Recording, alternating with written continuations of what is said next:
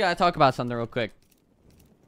I just think it's kind of odd, and I, I need to like, I just like I might think it's odd, but I need to know if you guys think it's odd. So you know everything that went down, right? Between the girlfriends, right? I'm not gonna use any names. And the girlfriends, right? Correct? Everyone understands, okay? Okay, well, I would never try to go ahead and uh do anything. You know, if it's if we have Twitter beef, beef like that, you know what I mean? That's one thing. You know, like we'll we'll just you know, we, could have some beef, you know, have some fun with it. You know I mean? I would never try to do anything personal in anyone's personal life. But someone then goes out of their way, right, to email someone's employer, all right, and get their job taken from them. That's when it's like, all right, we're on some weird, sketchy ass. You know what I mean? We're on some weird, sketchy ass. Is that is that weird or like? Now I'm not. I'm gonna say something. It wasn't Draws that did it. I don't know if he knew that was that like what she was doing or what. But yo, that's some weird ass man.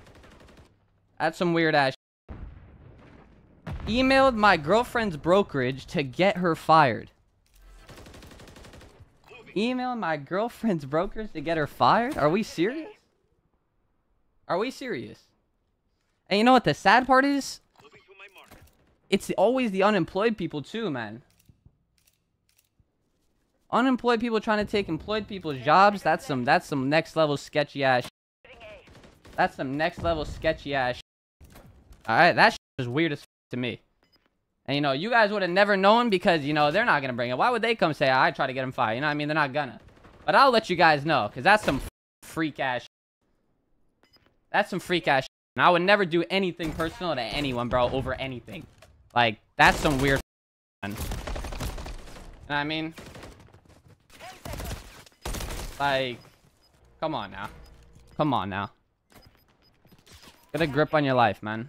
Get a grip on your life. That's some weird ass I respect anyone to, I, I would, I, I don't hate anyone to the point where I would try to ever take their job.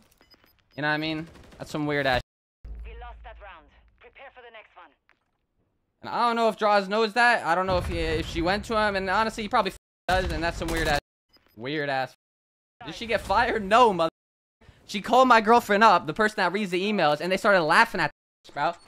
They started laughing at her. Like, get the fuck out of here with that. That whack, man. That whack. That whack. They started laughing.